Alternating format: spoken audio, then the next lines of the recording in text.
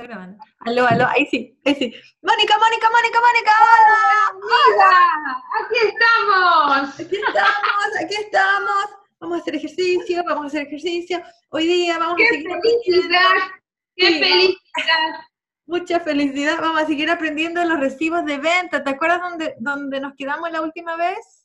Habíamos quedado en lo que eran los recibos, distinto que eran las facturas. Distinto. Entonces, yo volví a poner mi, mi computadora en la misma pantallita que nos quedamos la última vez para que seguimos esta lección, parte 1, parte 2. Y tenemos 10 minutos otra vez, mira. Ok, ok. 10 minutos, entonces déjame poner el timer, el, el cronómetro. 10 minutos. Comenzamos ya. Ya. ok, entonces voy a compartir la pantalla. Vamos a Sí. compartir la pantalla. Screen, share, share. Aquí en entrenamiento. Ya. Perfecto. QuickBooks es súper lindo y generoso y ellos tienen aquí un video. Este video, eh, no te lo alcancé a mostrar la vez pasada, eh, está todo en inglés, dura un minuto, pero es lo Ah, mismo que hemos dicho, es lo mismo que hemos dicho.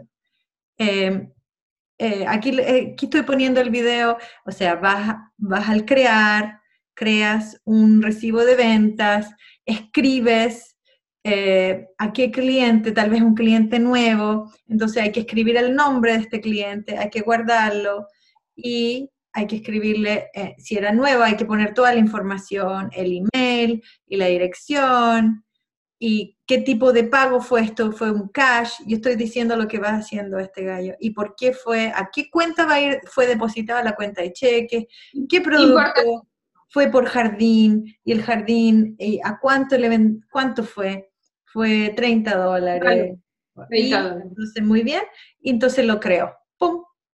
Eso es todo. Ya, y, y se lo va a mandar por email al cliente, y ahí aparece eh, todo lo que, lo que va a decir, está hecho, y, y se lo manda, y listo. ¡Wow! Eso, eso ya lo creó Intuit rápidamente en un minuto y la gente lo puede ver en cámara lenta si es que necesita verlo para ver cómo fue que fue creado. Nosotros hemos, ya hemos hecho esto varias veces, así que Claro. es una repetición y lo puse ahí eh, diciéndolo yo en español. ¿Quieres que lo ponga de nuevo? Eh, claro, por, por favor. Pongámoslo de nuevo, ya. Entonces, No, Vamos, vamos a crear un recibo de venta. Para eso vamos al anillito el- el de crear. Creado de que- recibo de venta, se aprieta. Entonces, este es un, ¿qué es un cliente antiguo o un cliente nuevo? Estamos agregando un cliente nuevo. Escribimos nuevo. el nombre del cliente, ¿ok?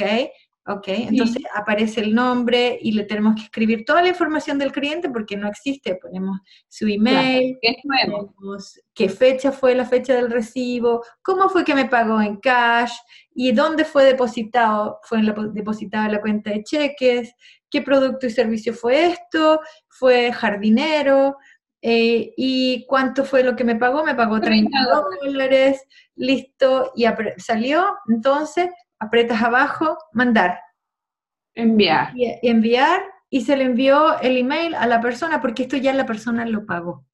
Y me está mostrando cómo es el email que le va a llegar. Tan, tan, aprendimos los recibos de venta. y todavía nos quedan siete minutos. ¿Viste que es increíble? No, es que esta gente es muy increíble.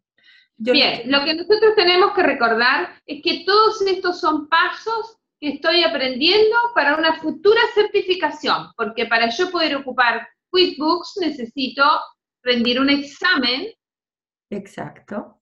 que me va a permitir certificarme, o sea, formar parte de este gran mundo mágico y, y de utilidad que me brinda QuickBooks. Sí, sí. Cuando decimos mágico no es porque eh, aparece, sin, sin- es por la facilidad, por lo fácil, porque está accesible a, cualquiera que necesite tener sus estados contables ordenados.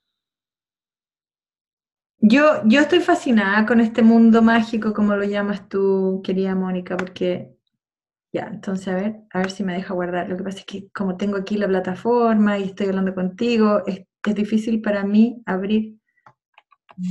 Como que no puedo, no puedo abrir la ventanilla.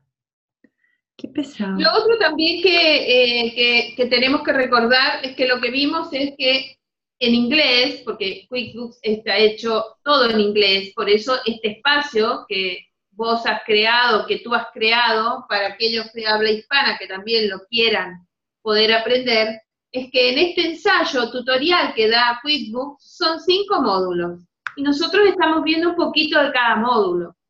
Claro, claro, o sea, no estamos nosotros tratando de, de, quitarle a, QuickBooks de que ellos son los que enseñan esta cosa, para nada. no, para nada. Estamos, em, oh, bueno, mira, aquí hay una pregunta, veamos cuál es la pregunta. Aquí, entonces, Parece que nosotros ya respondimos esta pregunta, es la pregunta de la factura, ¿cierto? Ah, a ver. A ver. Creando una factura. Ok. Vamos a ver. Ah, porque cada vez que entras, esta es otra cosa, cada vez que entras, de nuevo, otra vez a la factura, entré otra vez, me hace otra pregunta acerca de la factura, porque no es una pregunta, pueden ser muchas preguntas. Y una de estas es la que va a venir en el examen. Claro, te hace como multiple choice, cosa de que tú puedas elegir entre una serie de preguntas, algunas son correctas, algunas eh, no, no, no, no, mira, mira, mira, cuando uno, al final de cada lección, ellos hacen un set de preguntas, pero cada vez que entras de nuevo al entrenamiento de esa misma lección, el set de preguntas es distinto. Perfecto, pues va entrenando. ¿Te acuerdas el, set de preguntas de, factura que respondimos anteriormente tenía que ver si era productos y servicios o que, dónde está la barra del dinero y cómo era que encuentras la factura que, está, que te deben plata y que era en color naranja? ¿Te acuerdas de eso? Ya, ahora entré yo al mismo módulo, pero la pregunta es diferente. A ver. Estamos hablando de factura. La pregunta es, ¿en qué, en cuál de estas situaciones Greg daría una factura. Claro, este hombre, el jardinero. El jardinero. ¿En cuál de estas situaciones el jardinero daría una factura? Después de que el trabajo ha sido completado,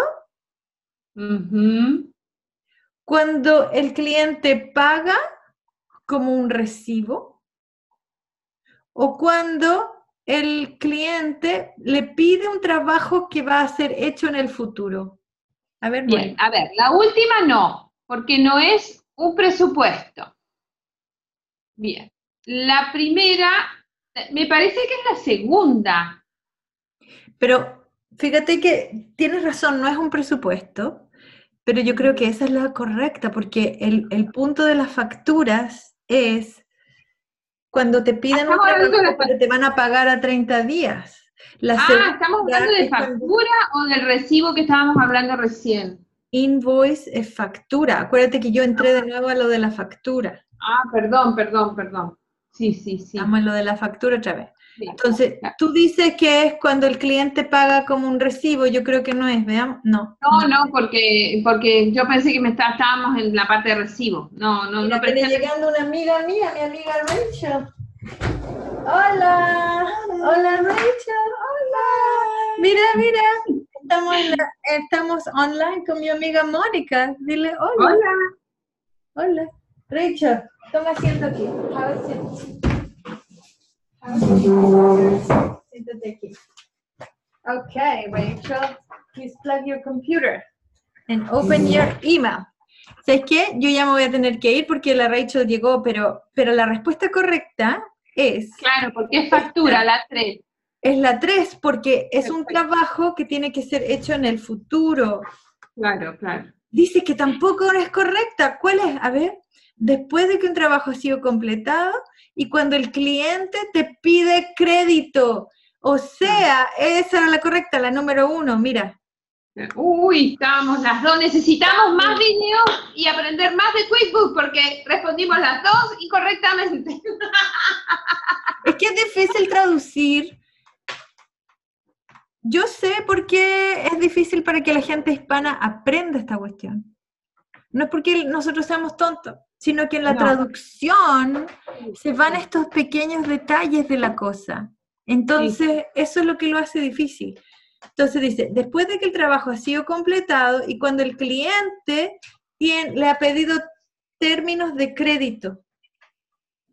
¿Por qué? Porque es una factura que te va a pagar en 30 días.